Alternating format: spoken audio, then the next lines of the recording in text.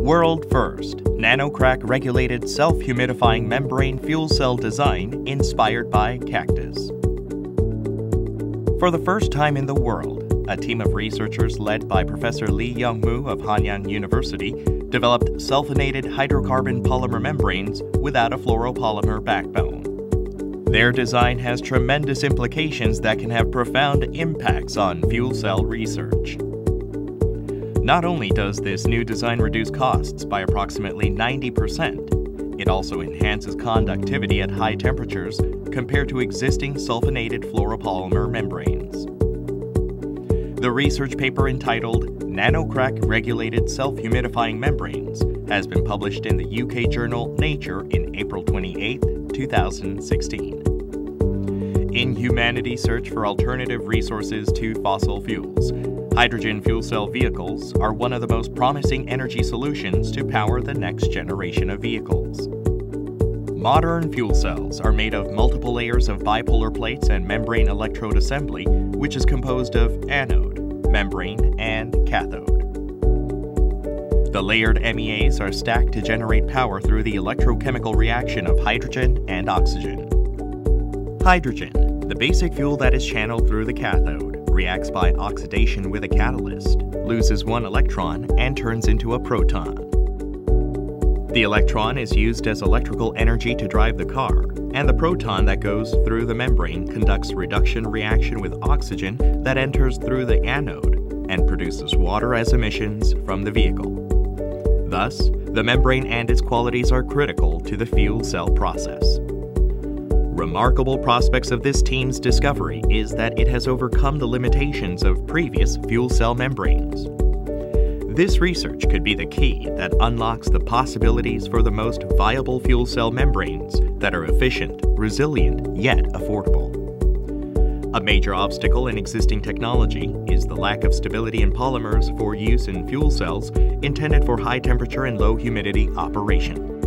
Sulfonated fluoropolymer membranes are used only between 80 to 90 degrees Celsius due to low thermal stability, but hydrogen fuel cell vehicles reach 120 degrees Celsius or higher while driving, so an extra cooling device has to be installed in the engine room. Also, while driving, ionic conductivity of sulfonated fluoropolymer membrane is maintained only when the membrane contains moisture or water.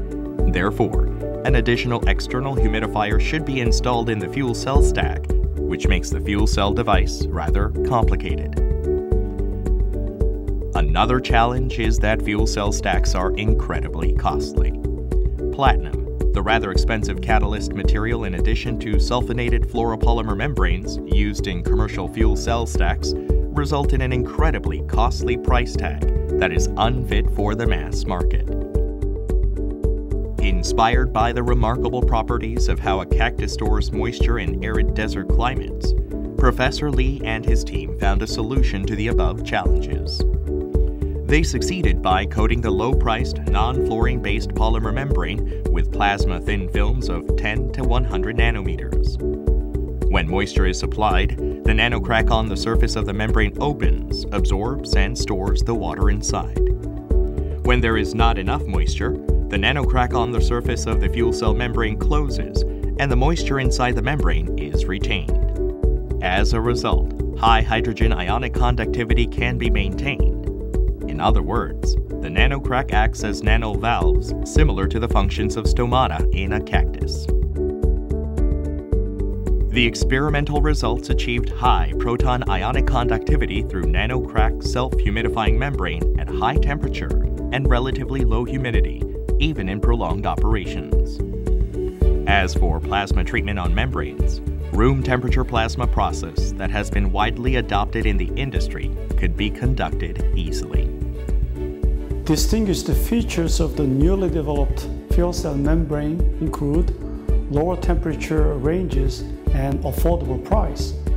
Unlike existing sulfonated fluoropolymer membranes that decomposes at high temperatures above 120 degrees C, the nanocracked self-humidifying membrane can secure long-term stability without any reduction in electrical performance in high temperature and low humidity conditions. This pioneering discovery also maintained the same performance levels in lower temperatures or below 100 degrees C. To meet the needs of a potential mass market, these membranes are also surprisingly inexpensive, almost 10 times lower than its previous commercialized product.